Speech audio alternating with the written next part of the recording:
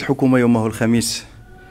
جوج محرم 1444 الموافق ل 20 يوليوز 2023 مجلسا للحكومة برئاسة السيد عزيز الأخنوش رئيسا للحكومة. خصص للتداول في عدد من مشاريع النصوص القانونية والاطلاع على اتفاق دولي. وفي بداية أشغال مجلس الحكومة تداول وصدق على مشروع القانون رقم 27 23 بتغيير وتتميم القانون رقم 18 12 المتعلق بالتعويض عن حوادث الشغل قدمه السيد خالد أي طلب وزير الصحة والحماية الاجتماعية.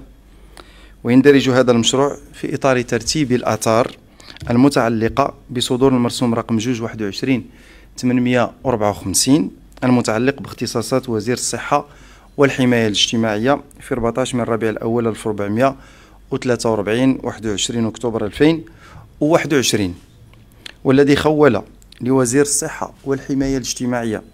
المحد آه، في المادة الثالثة عفوا منه الفقرة الثانية السلطة على الهياكل المكلفة بالحماية الاجتماعية المحدثة بموجب المرسوم رقم جوج 14 280 الصادر في 20 من شعبان 1435 18 يونيو 2014 بتحديد اختصاصات وتنظيم وزارة التشغيل والشؤون الاجتماعية حيث تم نقل مديرية الحماية الاجتماعية للعمال المنصوص عليها بموجب المرسوم المذكور رقم جوج 14 280 إلى وزارة الصحة والحماية الاجتماعية. ويهدف هذا المشروع إلى تغيير وتتميم القانون رقم 18 12 المتعلق بالتعويض عن حوادث الشغل الصادر بتنفيذه الظهير الشريف رقم 1 14 190 بتاريخ 6 ربيع الأول 1436 29 دجنبر 2014 حيث حتى يتسنى لوزير الصحة والحماية الاجتماعية ممارسة الاختصاصات المتعلقة بالحماية الاجتماعية في مجال حوادث الشغل.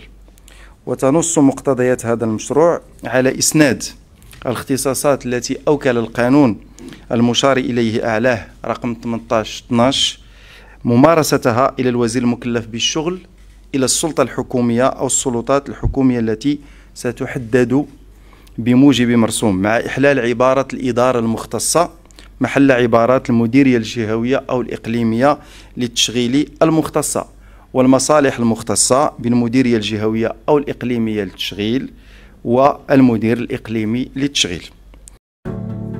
شكرا على المشاهدة.